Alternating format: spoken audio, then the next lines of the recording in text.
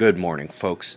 Using Stellarium to see what sunset will look like tonight from Columbus, Ohio, I hope you can see the dark spot to the right of the sun. It's the moon approaching solar conjunction, aka the new moon. Important specifically right now because that means it is not outshining the celestial sights at night. As we come around to early morning hours before sunrise tomorrow, the Geminid meteor shower will be in full swing. It's the best one of the year. Don't miss it, especially because rock comet Phaethon is thought to be contributing to the shower this year.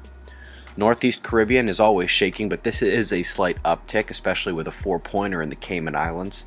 The White Islands volcano in New Zealand is on alert after significant dome activity and temperature rise over just the last few days. Tropical Cyclone Claudia going south and may turn slightly east. We have another cyclone up to the right, that's Cyclone Evan, actually going northeast, then going to stop and head back down for Australia. Got a ways to go yet before Evan gets his big boy pants. Last 24 hours has brought a cold air mass down across Norway, significant precipitation encompassing eastern Europe and the north. More should be expected tonight.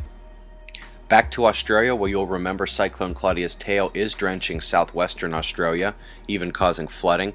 It meets that pressure convergence in the same area, and unfortunately, that entire low pressure system is under a watch zone tonight. This is how yesterday went for Florida rain, flooding. Coming to the pressure map, you see that big blue low creeping over the states. Just as one would expect, the low pressure systems really drive the wind. Southern air is being pulled north across much of the United States. That warm air hits the Pacific moisture mixing with the colder northern air sucked in the western edge and produces precipitation like this here. The north rushing air already showing temperature delta.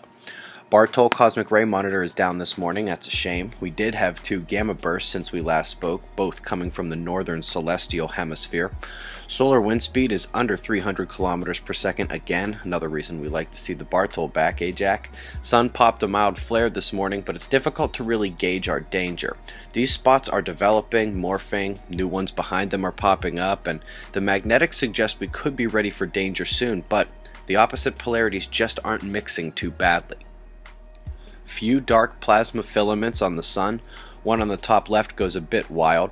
Top right, you see a bright spot, and if you know the sun, that ain't right. Active regions approach the equator at solar maximum, and this is high for a solar minimum. Signs of change on the sun. Coming to the southern hemisphere, we had a tiny eruption just north of that large coronal hole. Not much to worry about. Two sizable coronal holes on the disk, Moon conjoining four celestial bodies in four days. Hope yesterday's quake break continues. Eyes open.